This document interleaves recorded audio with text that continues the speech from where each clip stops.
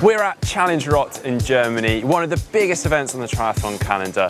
And now we're at the expo. We're gonna go and take a look at some cool and exciting tech. Let's head on over.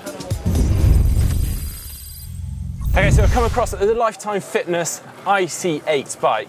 It's not brand new, it's been out for about a year now.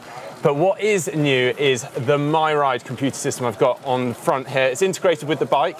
It's just come out in about April time and it uses the Coach by Color system, which we can see behind us. So it takes into account your FTP, gives you a color coding so you know that you need to ride to that color and that's shown on the display right here.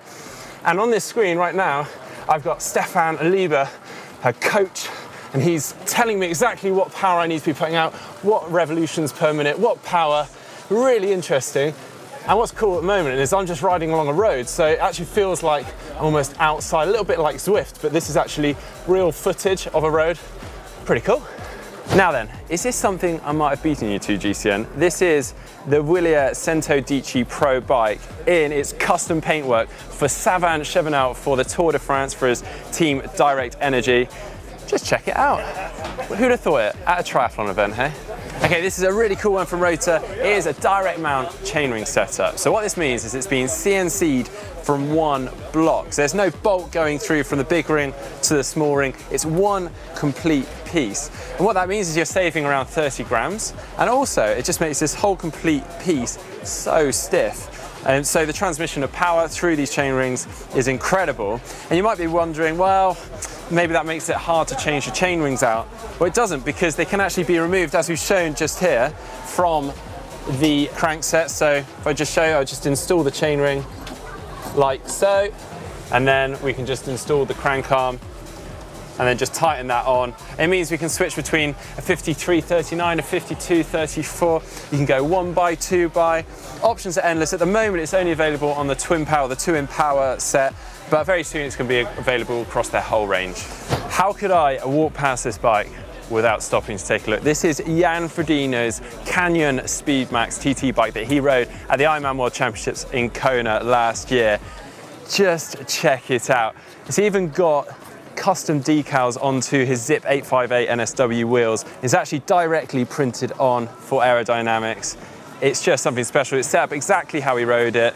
All his hydration in exactly the same place. I really like this feature here. Quite nice.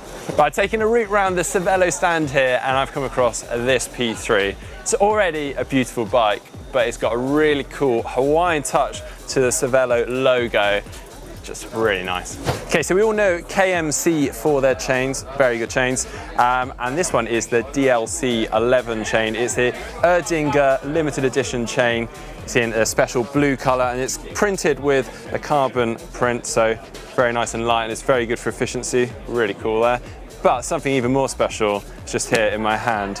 And this one is not yet available to buy, but it will be by the end of July. And it actually has some slight changes to your normal chains. It's got a few, few grooves in it, and this is specifically designed for TT. So the idea being that it has a much better transmission of power through the chain.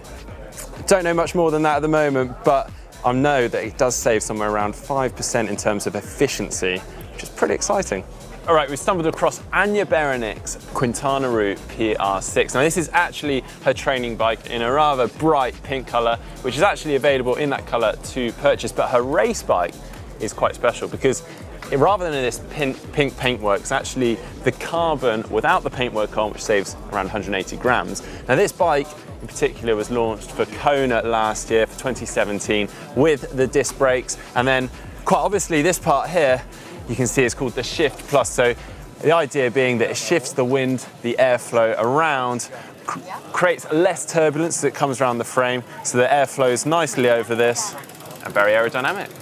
So we featured the Swiss Side Aeropod at Kona in 2017, just last year. And at that stage, it looked something like this. It was in its early developmental stage, and now we've got a far more refined version. So there's some slight changes here. So one in particular is with the pitot tubes themselves. So they've changed the materials used to improve its reliability and accuracy in data. Also the way it's attached and also how it sends that data. So they've improved sort of the Bluetooth and the amount of information that they can send in real time to our devices. So the idea being that you can see your CDA In other words, how aerodynamic you are in real time whilst you're riding. You can play around with your position, change your head. You can see all that data as you're going along. So really, really interesting. I'm afraid to say it's still not available to buy, but Swiss Side are really trying to refine it so they've got a really well finished product so it's available to the market then. Um, and Swiss Side actually work very closely with Cube in terms of their aerodynamics on the bike. So we've already featured the C68 on Michael Raelert's bike at the championship race in Samorin. Very similar design to this, but at the time it didn't have this hydration system. So now they've actually got this magnetic integrated hydration system, which is a really cool feature. So you can easily just pop this off um, and it just fits so nicely with the bike, looks really smooth and very aerodynamic. Right, so this one has really caught my eye and that's mostly because of the finish on the frame. So it's a titanium frame and no one's really been able to explain exactly how they've got the color work, but I think it's through some heat, heat treatment with the oxidation of the titanium, and it's come out this really amazing effect. But actually, on closer inspection, it's not just that, because I thought it was a single speed to start off with, but it's actually got a gearing system, which is called the pinion gearing system, which you can see down here, just behind the chain rings. And even more interestingly, is it doesn't have a base bar, it's only got tri-bars. It's just designed to go fast and nothing else.